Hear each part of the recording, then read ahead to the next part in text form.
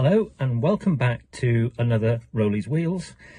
Today uh, we're going to be looking at a replacement of the interior clock on the Jaguar XJ308. In one of my last videos I mentioned that the clock itself wasn't working whilst the car was stationary. And usually uh, it would work when the car was moving but not when it was stationary.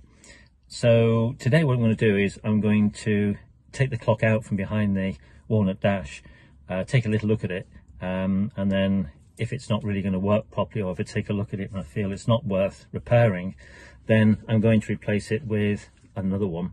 Now I've actually found out that you might be able to replace the XJ308 clock, analog clock, with the 350 Jaguar XJ350 clock. Um, and this is the Jaguar XJ350.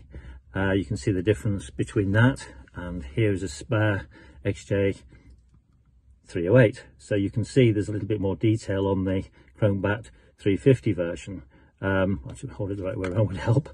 Um, so yeah so they both look the same um, the back and the fronts and so on. So I'm expecting you know oh I don't know. I'm expecting a straight interchange really. So I think we'll just have a little go at this and see how we get on so to get to remove the clock, uh, you can see the analog clock here and we've got to remove this uh, walnut surround. So that's the first thing we're going to do. And there are clips behind here and here and here and here. So it should just lift out with a little bit of luck. So I've got um, a lifter here, so I should be able to just start to pry it out. And under, under this one as well. With a little bit of help. You should, should just come unclip. And it does. So I'm just going to put that upside down. Oh, just to show you anyway, um, where the locators are, you can see what sort of clips they are that um, sit behind the dash. Um, and those actually fit into, those tongues actually fit into these, that lug there, and there's one here, and there's another one here, just there You can see them there as well. So the next thing we're going to do, in order to be able to get this surround out, it's slightly tucked behind the passenger airbag uh, front. And also I've got to try and ply this one as, uh, away as well because it gives me more maneuverability to be able to slide this out. So what I'll do, I'll tackle this next bit and take the four screws. There are, there are a couple of screws here. Uh, there's one here and there's another one just under here and same over here actually. There's there's one in here and there's one there as well. And these are phillips heads so that's quite straightforward. Okay so here we have it. Now again on this other side there's a little tongue which sits in behind that uh, section of the um, airbag. Now incidentally i've disconnected the battery. So before you tackle this job disconnect the battery because you don't want, in case you do something, you don't want the airbag going off. But when I come to put this back, I've just got to make sure that this um, lug here, that pin, fits in behind, rather, behind the um, um, walnut fascia. So here we go. Okay, so now there's a connection to the back of the clock. So I'm going to disconnect that now. Right, so I've actually lifted this clip and on the back you'll see those two there and you actually lift those black bits up and that one up and then at the same time you just push your finger to push the clock through. It just then unclips. So I'm just slowly prise this out. A tight fit really. One hand. I'll have to do it with two hands I'm afraid. Okay let's see whether we can do this Right, so now we've got the clock from the back of the, the vent unit now. So I'll just put the, the vent unit down very carefully.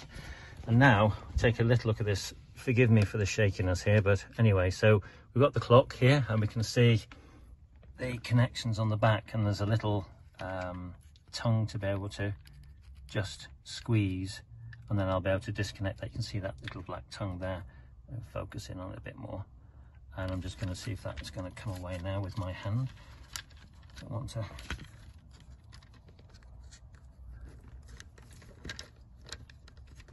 oh, I have to do this with uh, two hands again, I'm sorry. Okay, so I managed to pinch that tight and then you just literally pull that out from there and that's it. So this now is the, the old one um, and way that is at the moment doesn't really look that uh, you can't get into it anyway. Well, you can get into it if you really wanted to. The little side lugs here, you can prise open and get into it. But I think what I'll probably do today is I'm going to see whether this one fits in here.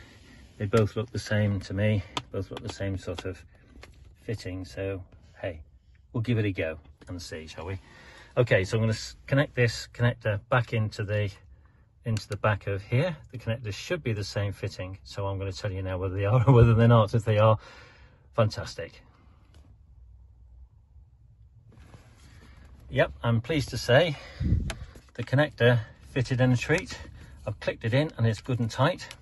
So I'm going to fit all this back together again in the reverse to how I pulled it apart.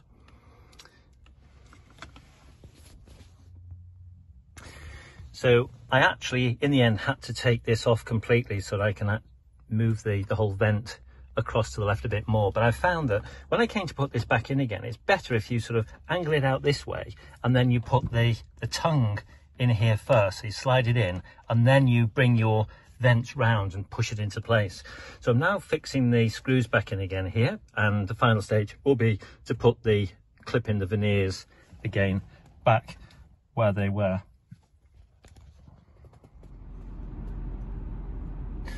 So this is how it looks when the lights are on and you've got the internal illuminations on the clock. So yeah, just like the Jaguar XJ350, um, it's a, nice sort of greeny tint, but it does look good. So I hope you all like it as much as I do. So thank you for watching once again, and I hope this has been quite useful to people who have problems with their, their analog clocks. Um, I think it's not a popular thing, but um, it has happened to me. So I thought, well, um, when I come to replace it, it's quite useful for everyone else to know how you can do it. Um, so I'm quite happy with the job. It looks good. Uh, it's updated a little bit as well. So um, yep, so everything is back um, as it was, looking good. And uh, yeah, I want to thank you all again for watching and please remember to subscribe. Thank you very much.